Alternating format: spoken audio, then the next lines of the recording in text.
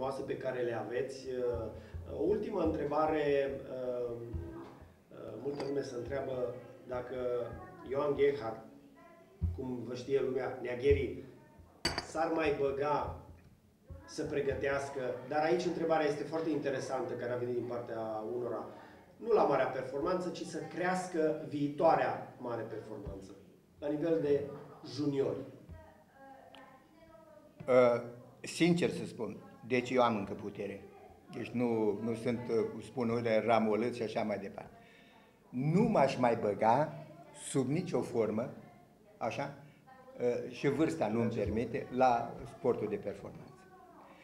Dar mi-ar face mare plăcere, așa, să pot să conduc niște centre de copii și juniori, așa, în care să fixăm niște obiective, niște etape de, de pregătire, dar în care să fiu ascultat.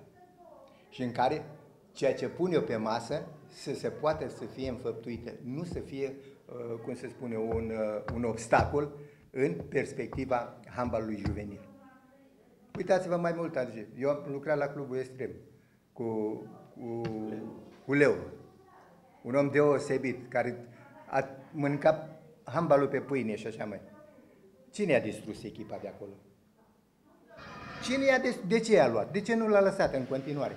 Păi știți, când era festivalul handbalului juvenil aici, când se pleca de la primărie, pe picioare chitolange, că aveam un, un simpatizant așa, din Ungaria, de așa, și venise aici, și care ne-a pus la dispoziție și casa lui, care noi am mai modernizat-o pe Valea, nu, pe, da, Borcutului sau cu, nu, nu, Bor, Valea, Valea Roșie, acolo. Da, pe Ustroiul. Pe Ustroiul, așa. Și uh, veneam, aici era părinți, copii, animație, extraordinar de Unde mai sunt acele? Copiii veneau cu...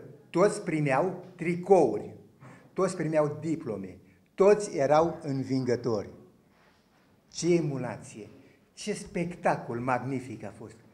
Nu mai există aceste lucruri. Nu mai există. Cine le-a distrus? Cu ce intenție? Cu ce intenție? Vedeți? Asta e.